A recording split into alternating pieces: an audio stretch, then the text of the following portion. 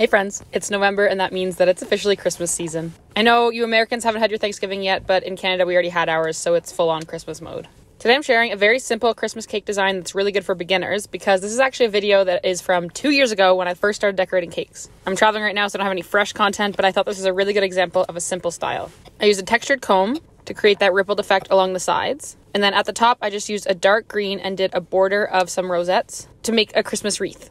This design is simple because you only need one piping tip, one frosting color, and rosettes are some of the easiest designs to pipe. Then I went and just added some Christmas decor, so I used candy canes, red sprinkles, gold sprinkles, gold rods, and some gold dust to fill out the Christmas wreath, but you can honestly use whatever Christmas style decorations you have on hand. And then at the end, I used two candy canes to stick on the side and make a little heart.